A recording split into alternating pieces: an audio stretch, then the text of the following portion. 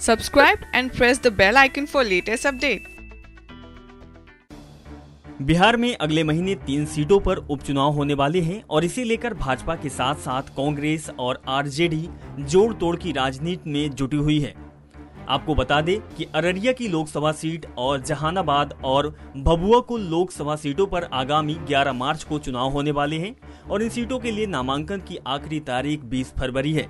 तो ऐसे में, जब इन सीटों पर चुनाव कौन लड़ेगा, इस बात को लेकर आरजेडी और कांग्रेस में घमासान मचा हुआ है। आपको बता दें कि कांग्रेस ने भभुआ विधानसभा सीट पर अपना दावा ठोका है और वही आरजेडी ने कहा कि वो तीन सीटों पर चुनाव लड़ेगी। कांग्रेस विधायक दल के नेता सदानंद सिंह ने कहा कि मैं पार्टी आला कमान से कहना चाहूँगा कि भभुआ में अपना उम्मीदवार उतारे। वो राष्ट्रीय जनता दल की भोला यादव का कहना है कि सीट पर हमारी पार्टी की मज़बूत पैठ है। खैर, उपचुनावों से पहले जिस तरह पार्टियों में खींच तान चल रही है, वो दोनों ही दलों के लिए मुश्किलें खड़ी कर सकता है और ऐसे में इस लड़ाई का फ़ायदा बीजेपी भी उठा सकती है।